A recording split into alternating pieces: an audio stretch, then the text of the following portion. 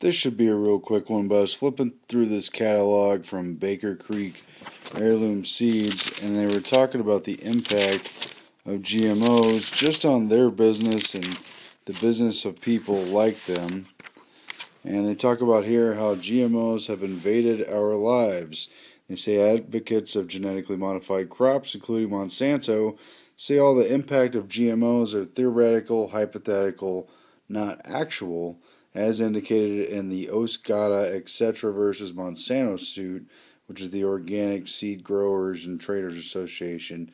And they point out here, according to Baker's Creek, that nothing could be further from the truth. It's directly hurt their business. Just this catalog alone used to carry more than two dozen heirloom corn varieties that seed for corn, but now they carry less than half this number because they started testing for GMO contamination in 2006 and about half of their seeds were contaminated. They had to carry the cost of testing for the seeds and then they had to discontinue them.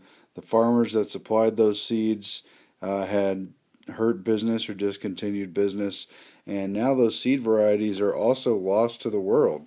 So there's less seed supply to go around for those who want heirloom corn, non GMO, and uh, just really the GMO corn continues to take over and accidentally or incidentally drifts and contaminates heirloom corn and non GMO corn crops. And then in many cases, Monsanto sues those farmers.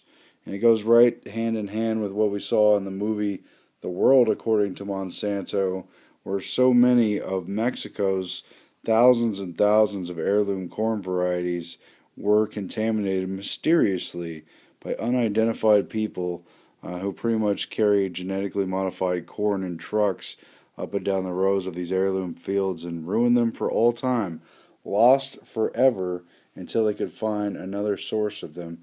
It says right here in the Baker Creek that's half of these old, fine, historic varieties gone, gone until or unless we could find clean seed for them.